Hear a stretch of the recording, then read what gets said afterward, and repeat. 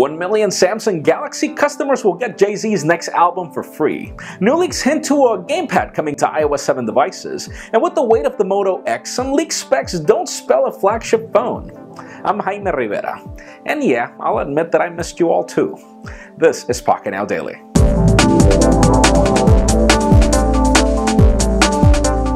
Let's start today off with some Nokia news. For those of you following the fact that AT&T and the company are testing this device, well, the RM877 just left the FCC from testing, and apparently this is the Nokia EOS PureView beautiful whatever phone that's coming out there. And since we do have an event slated for July 11th, uh, we probably could see a new Tony phone. Um, yeah, PureView phone coming very soon, so stay tuned. Now let's move over to the Moto X, uh, you know, that shiny unicorn that follows the white iPhone 4 in popularity and time it's taken for it to launch. Well, apparently this device won't be that much of a flagship phone. I mean, in times when the 1080p displays are already a standard, apparently this device will only have a 720p display. And at times when the Snapdragon 600 is the standard, apparently this device will bring the Snapdragon S4 Pro. And the question is why? What is Motorola planning with this device? Could we be getting a new version of the Nexus phone, meaning, you know, a Nexus cheap phone, you know, with good hardware, but not great hardware. Stay tuned for the rumors.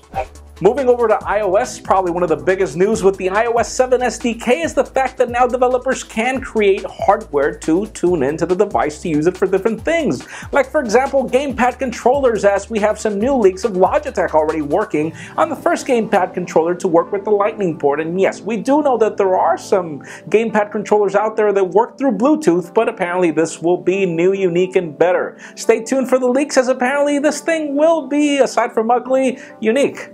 Now let's talk about the Galaxy S4. We've got some new reports that Verizon will now get some unique exclusive variants of the phone uh, that are actually customizable, but it's kind of interesting because all you're getting is really a different type of battery cover since you can pretty much replace this. It's kind of interesting. Let's just hope that they don't come up with this Verizon logo on the home button like some Galaxy Note customers have to deal with. But aside from that, the company CEO also came on record to state that they're going to be building the first LTE Advanced smartphone, and even though LTE Advanced is currently only available in Russia, you know the way Samsung is, they always want to try everything.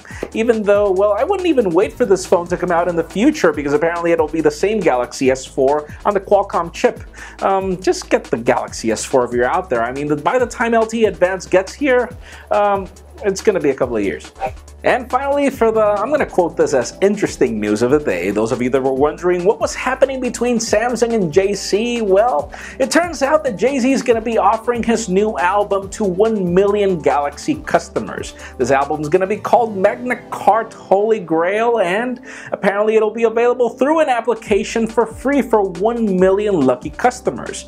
The album will be out on July 4th, but the app will be available on June 24th, so obviously those of you lucky that get album will get it earlier than the rest of the people that are going to be able to buy it. This is going to be available for the Galaxy S3, Galaxy S4, and the Galaxy Note 2, but that leads me to the question of the day. What do you think about these celebrity endorsements recently? I mean, I think it's the thing for 2013. You get Alicia Keys endorsing BlackBerry and then she's uploading photos to Instagram when there is no app on the BlackBerry 10 operating system. And it's just kind of funny to see all these celebrities doing these endorsements in 2013 that are not really as effective as these companies think they are, or are they? Do you like celebrity endorsements? I personally don't, but leave us a comment down below. What do you think? A free album is a free album, right? And of course, as always, for an earlier scoop of everything that's happening in the smartphone and tablet world, make sure you follow us on PocketNow.com, subscribe to our YouTube channel. You can also follow me on Twitter at Jaime underscore Rivera. Please give this video a thumbs up if you like what you saw. I am Jaime Rivera. Thank you very much for watching. We will see you tomorrow.